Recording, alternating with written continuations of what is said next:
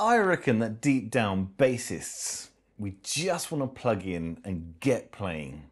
We love our technology, we love our sounds, but sometimes we can be bogged down by knob twiddling and pressing buttons and trying to remember how we got a great sound the last week and it doesn't sound the same this week.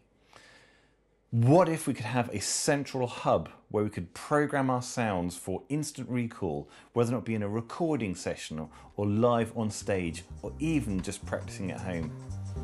I think Super Pre here has probably got us covered.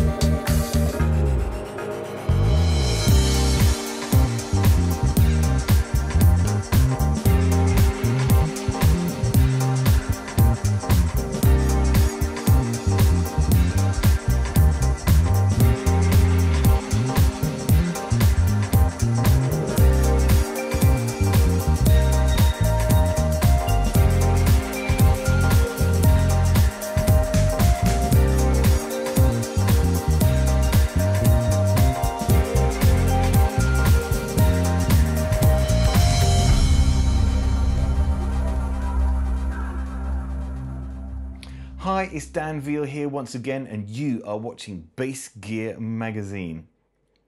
In this review, we are looking at the brand new Bergantino Super Pre. This is a digitally controlled preamplifier. It has a multitude of uses. We can have it down next to our feet on stage, or we can stand mount it and use it as a controller that we can reach by hand or indeed on the desktop in our studio, we can feed our basses into this and get a great sound straight to our digital audio workstation. We're going to look at some of the finer details and have a listen to some of the sounds that the Super Pre is capable of producing.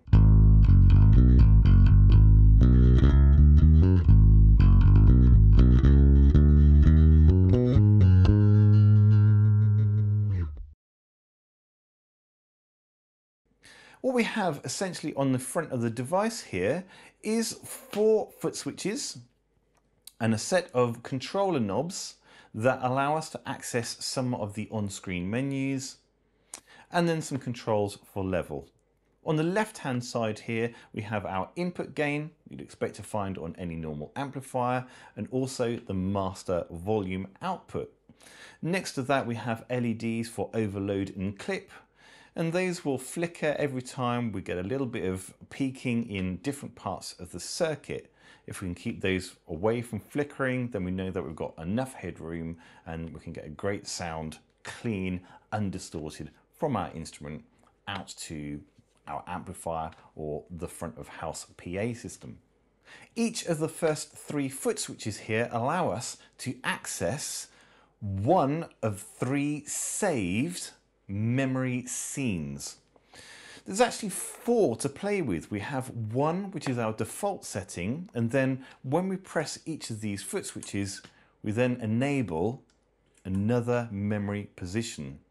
There's no delay when we press these when we're playing, so we get an instant access to a new saved sound.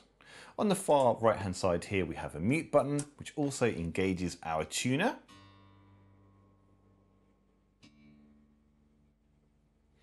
And that shuts off the sound so I can tune silently without upsetting the audience or anyone else on stage.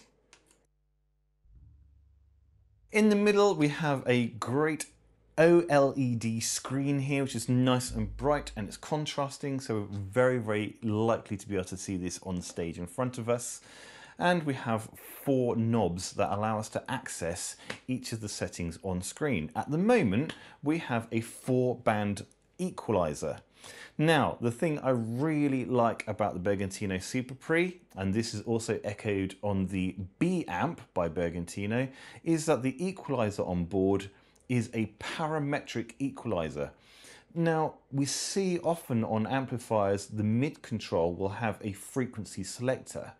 And I think that's good. That's a good place to start. But you know what? I want more control. And on Super Pre, we can access all of the four bands and set the frequency individually. And I can save these settings per scene. Incidentally, if I need more than four scenes, well, I've got these bank buttons here that allow me to move the memory up into a new bank where I can have another three scenes and I can go up into another bank and have another three scenes. This is especially useful if I'm using different instruments or if I'm using different amplification or different recording scenarios and I want a whole wide range of different sounds programmed into the device whilst we're on the subject of scenes and saving, in the program menu, I can even name each of my scenes. So this is very, very useful.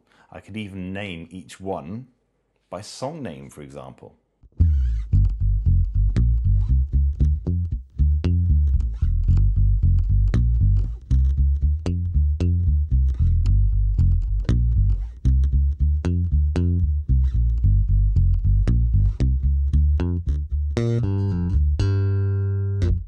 Just dialed in a sound there that I could immediately use on stage. Nice bit of fat low end with a sparkling top end.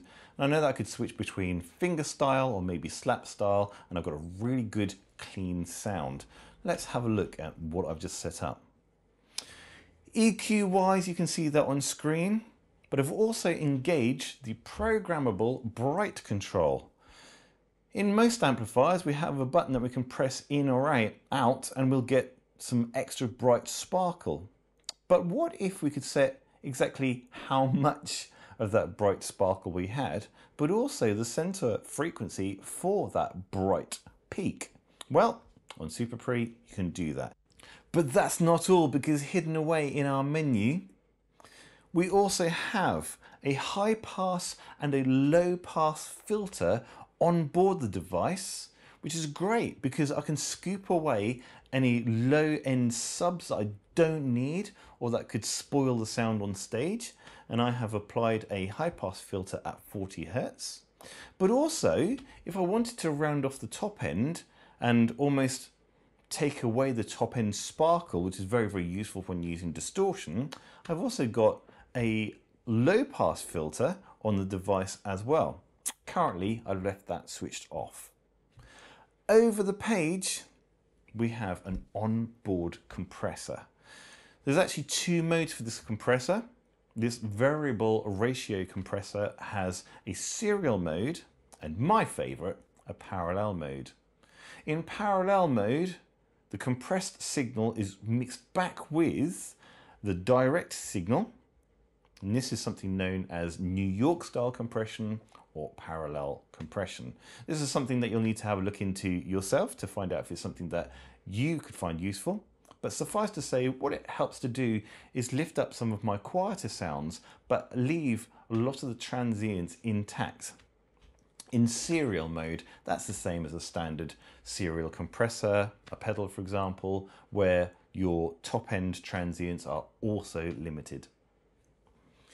In the next menu, I have this switched off. We're going to have a listen to this in just a moment. We have a drive section which offers overdrive, distortion or fuzz. In the next menu, things get a little bit geeky and this is where you're going to want to reach for the manual. Certainly there's a lot of information to be shared here, so I'm going to try and keep it as simple as possible. Within the drive section, we have the ability to band pass exactly where the distortion sits. I might not want it to interfere with the low end of my bass guitar, but at the same token, I might not actually want it to be too much in the top end either. So I can really dial in exactly where that distortion sits in my bass sound. Furthermore, far right hand side here, we can actually blend how much of the drive is actually coming into the signal as well. You don't see that level of control on your standard distortion pedal. And this is one of the big sells for me. I need to be able to sculpt my bass sound very specifically. Yes, I'm fairly fussy, and this absolutely nails my needs.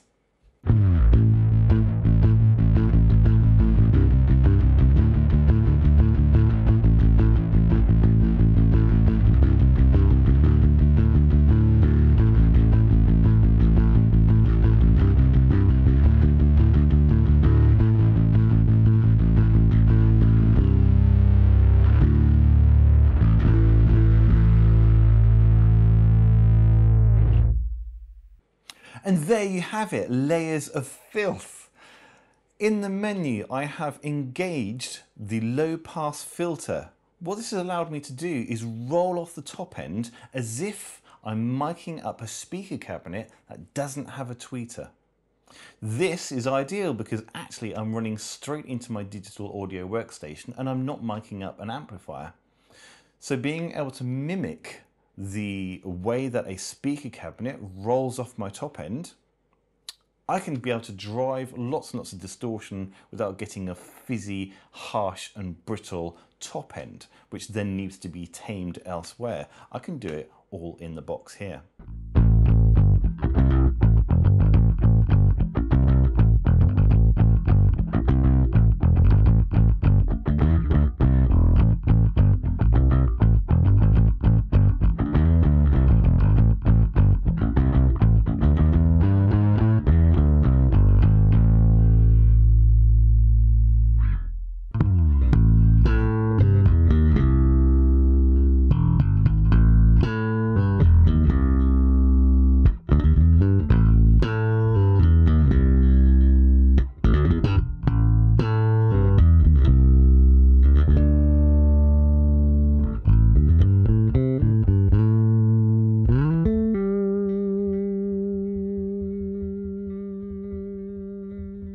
That example, I wanted to demonstrate how clean and clear the compressor stays even when it's absolutely maxed out. This was in the serial mode. In that little excerpt, I slapped the bass quite hard, but also in the finger style, genuinely I was playing pretty lightly, especially as we went up the dusty end north of the border. Those notes rang out nice and clearly at the same volume as my slap bass. But to my ear, the slap bass did not sound choked. What a really musical and useful onboard compressor. Within the menu, we have a lot of features. One of them, for example, is that we can set the overall output levels of the device to help configure if we're plugging straight into, for example, a power amplifier or our backline amplifier, or in this case, I'm sending this out to my recording device. EQ centers are set in this menu as well and you can see at the moment I have my centers set for 60 Hz, 250 Hz, 1 kHz and then 4 kHz. As I mentioned earlier on, the bright filter can also be adjusted and this one is centered at 7 kHz and I can use a controller to set the center frequency for that bright control. In the profile select menu things get very interesting indeed. With the release of the Bergantino B-Amp, owners of Bergantino cabinets could pair the amplifier with the cabinet and using some additional DSP filtering could get the two to configure more tightly together in the same way, for example, as DSP is used with active PA systems. This technology has carried over from the B-Amp into Super Pre, and this allows us to select any of the speaker profiles that we used with the B-Amp also in Super Pre.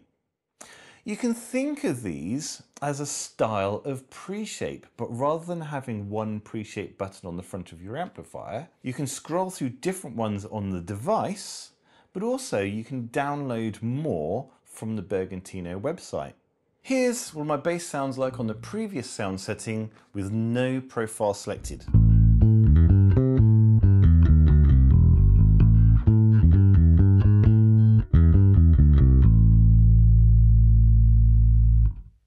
Switching over, this is a vintage speaker cabinet preset.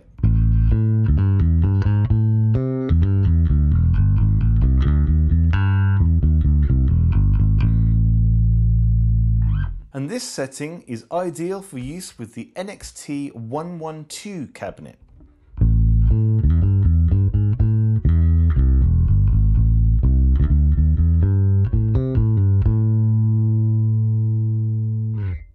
Those who own the brand new Series 2 ref cabinets, there's even a speaker profile for those, and this one goes with the single 15 inch cabinet.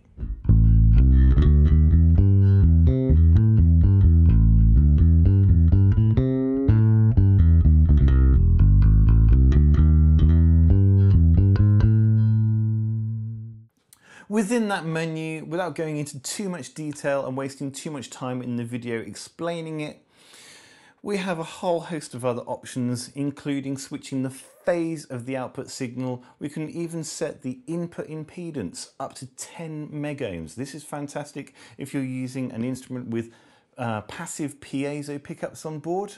We need that high impedance to make sure that we can get the clarity from your pickup into the preamp and we can select that. The onboard effects loop is also switchable, so if I have a signal chain that I want to bypass completely as part of a patch, I can do that at the press of a button.